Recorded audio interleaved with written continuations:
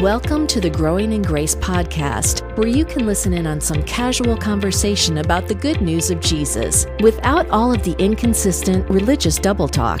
If you've ever struggled with feelings of hopelessness, guilt, and despair, or wondered if you're really right with God, it's time to discover the true freedom that comes with the gospel of unlimited and overflowing grace. Hi, I'm Mike Kapler for the Growing in Grace podcast. With me, of course, my friend and, um, well, you know him, Joel Brueseke, former importer, exporter, architect, and marine biologist. All those things and more. plenty more. And all those things some and of, less. Some of them we can't talk about. All at the same time. I'm more than that and I'm less than that all at the same time. they just just call me Uh. Les Nessman. We were just talking about the weather. You know, that's the thing that people do. They just talk about the weather.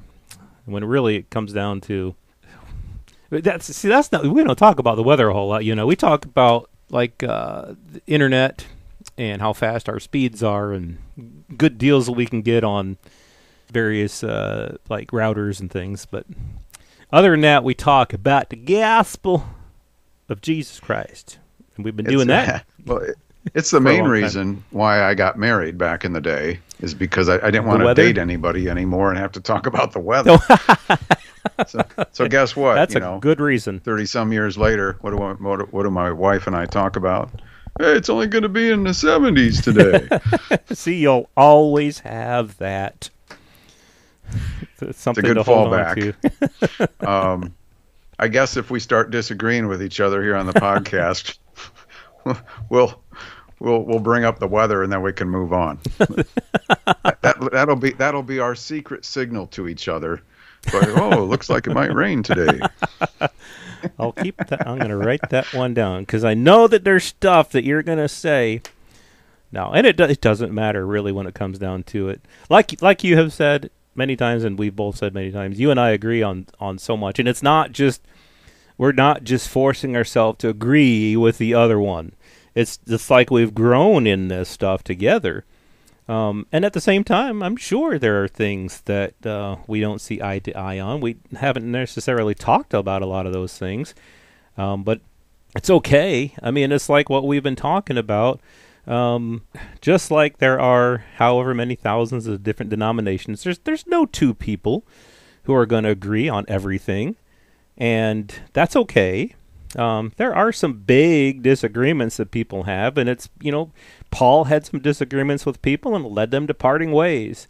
Um, there are times when people can have big disagreements and they can just say, you know what, we disagree on that, and it's okay. Um, everybody's different. Every how people handle agreements and disagreements is all different. Um, somehow, for um, 18 and a half years, we've been able to do this podcast, and it's been a really, really good thing for both of us.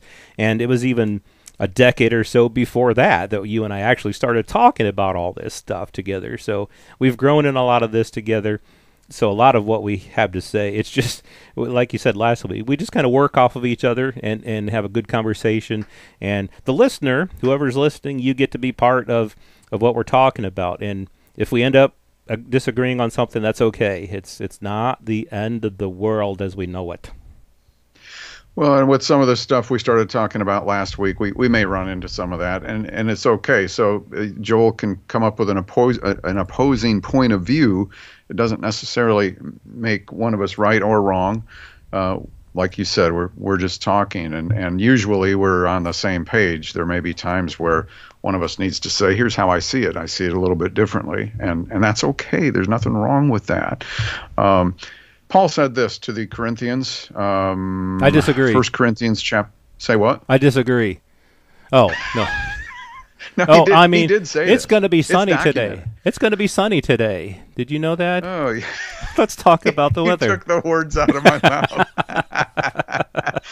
Anyway, Uh, First Corinthians two, Paul said, "These things God has revealed to us through the Spirit."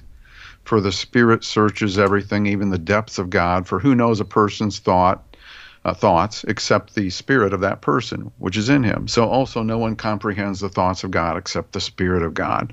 Now he goes on to say this, we have not received the spirit of the world, but the spirit who is from God, that we might understand the things freely given to us by God. And we impart this in words not taught by human wisdom, but taught by the Spirit interpreting spiritual truths to those who are spiritual because the natural person does not accept the things of the Spirit of God. They are folly to him, and he is not able to understand them because they are spiritually discerned. So, Joel, um, this this is what we kind of left with last week when we were talking about First John chapter two John said, "You've got this anointed that this anointing that you are constantly plugged into.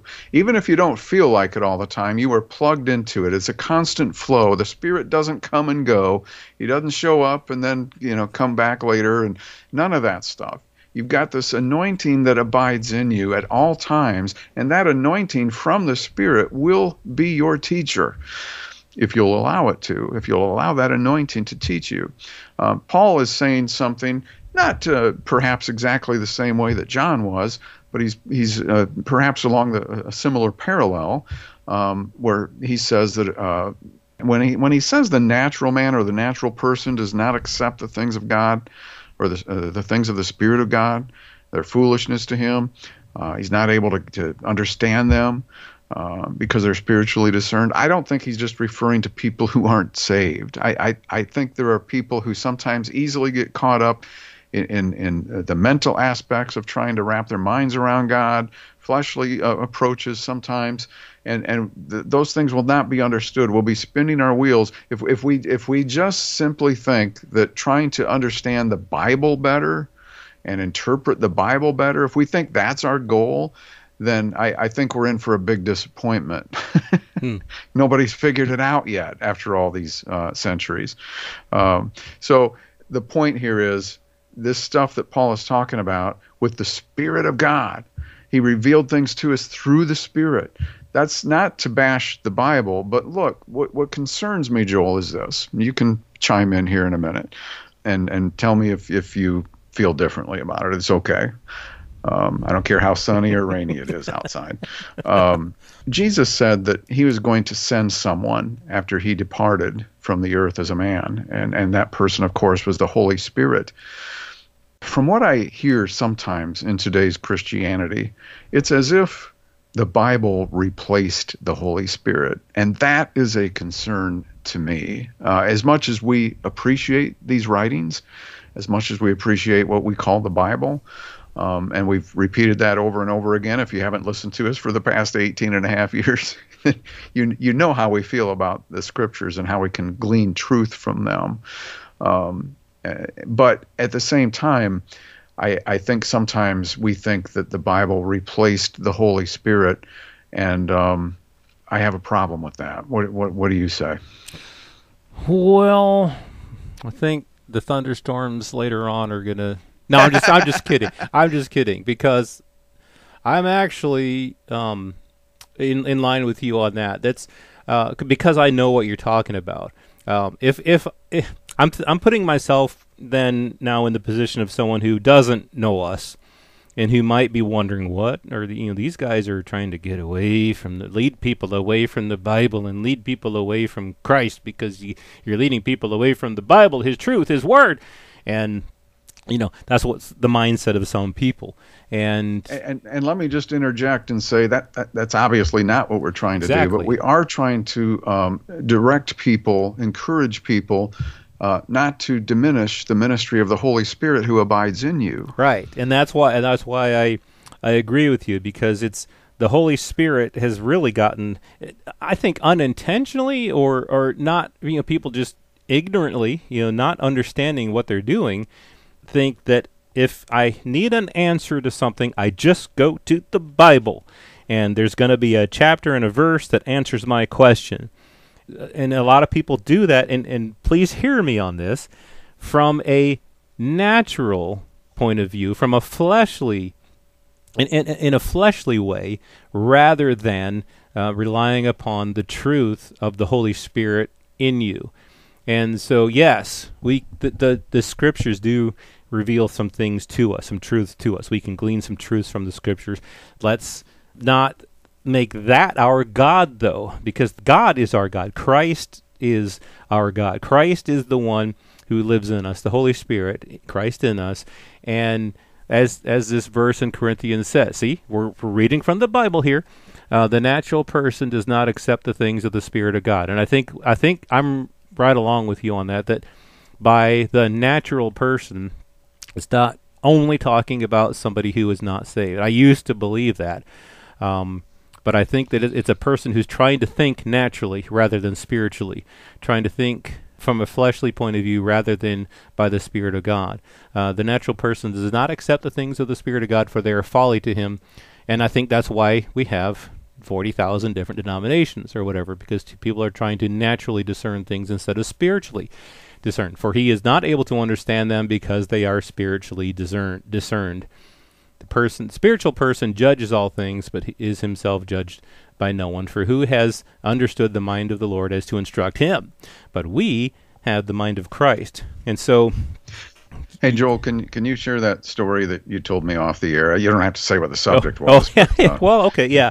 I was talking with somebody. This is several years ago about a certain subject, and it doesn't really matter what the subject is. But we, we were in a disagreement on on on this subject on on this topic. We were in a disagreement on it, and this person told me, "I know that I'm right because I have the mind of Christ.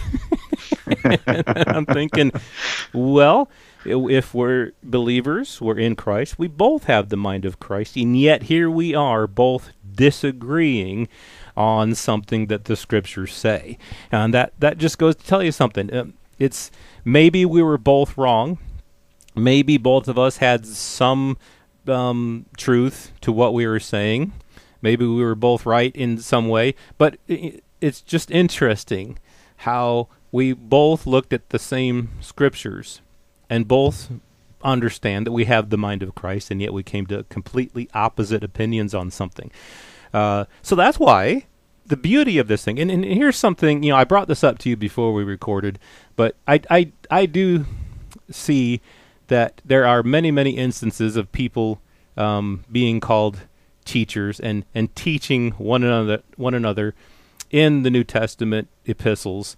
Um, but I don't I don't see that as being against or opposed to what John is saying here that y- you need no one to teach you, um, because I think w- what my the way that I see that is that like you and I, as we do this podcast, some people might see us as as teachers, but ultimately, what we say, what we quote teach, isn't even it shouldn't be taken taken as by the listener as the truth.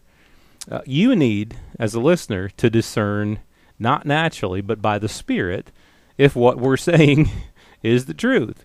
Uh, it, you know, just you look to the Holy Spirit, look to that abiding that is in you, uh, the Spirit that abides in you, the anointing that is in you.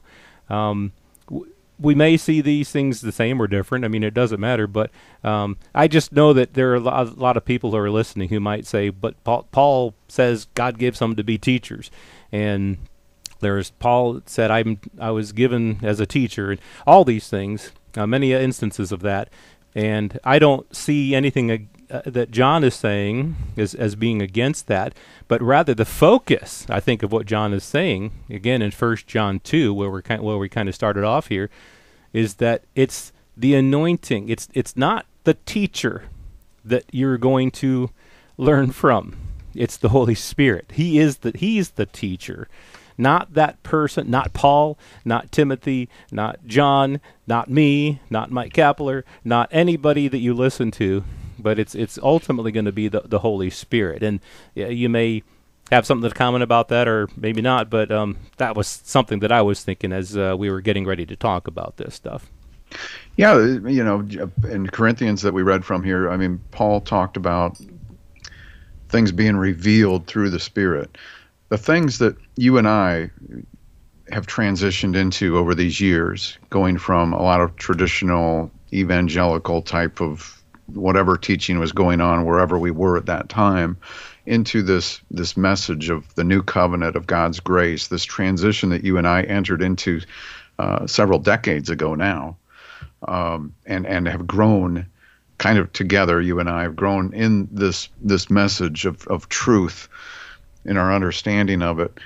It's largely because of the Spirit of God. Mm-hmm. Mm-hmm. I, don't, I don't know how else to say it, Joel, other than it's it's the Spirit of God who reveals these things to us.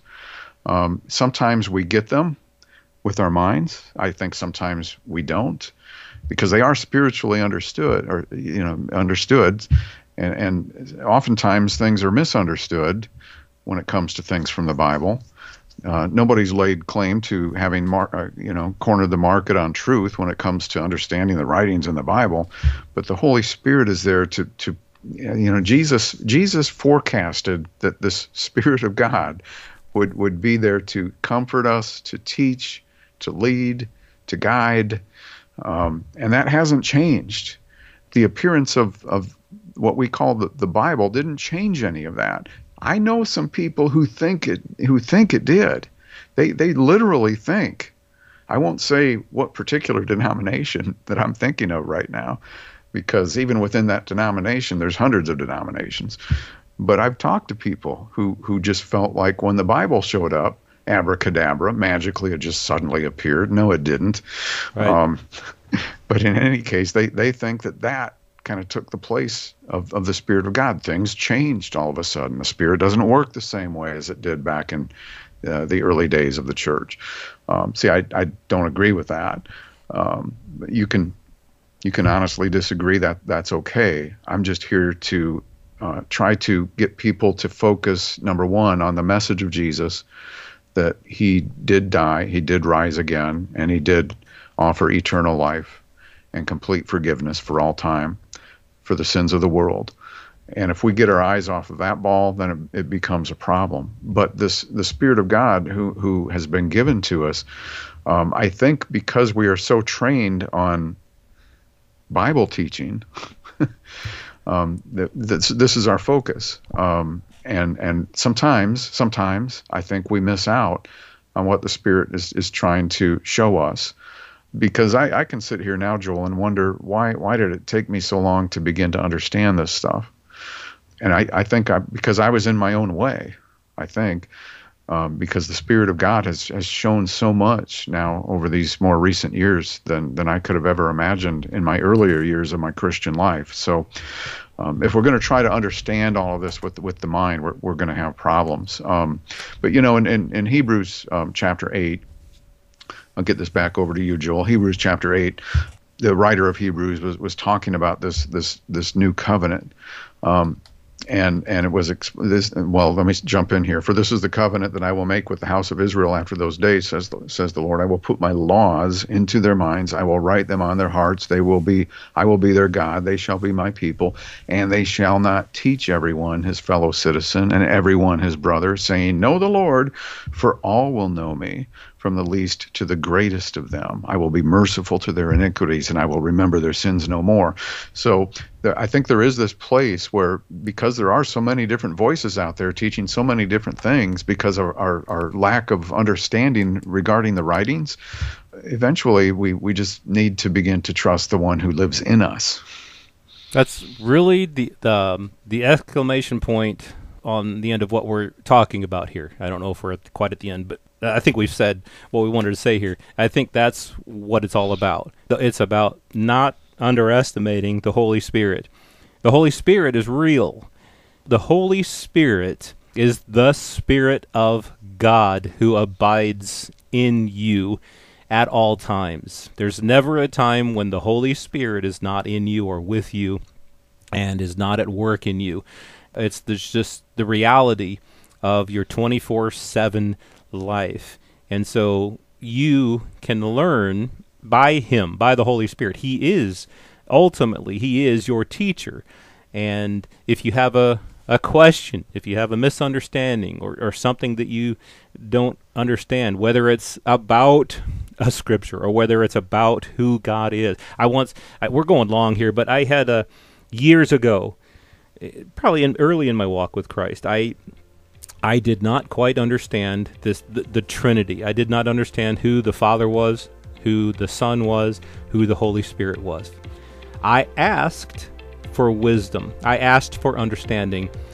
I didn't get it instantly, but as time went on, it came to me, and that was the Holy Spirit. I, he, he was my teacher. He, he taught me about the Father, the Son, and the Holy Spirit. And I'm still learning to this day. But I'm just saying that in anything that has to do with your life in Christ, let's not underestimate the Holy Spirit. And in fact, let's lift him up as our teacher and the one who gives us the uh, knowledge and the understanding that we need in our spirit and live from that. This has been Growing in Grace with Mike Kapler and Joel Brueseke, heard online through various internet sources around the world each week. Access past programs by visiting growingingrace.org. Share it with a friend and listen again next week for more Growing in Grace.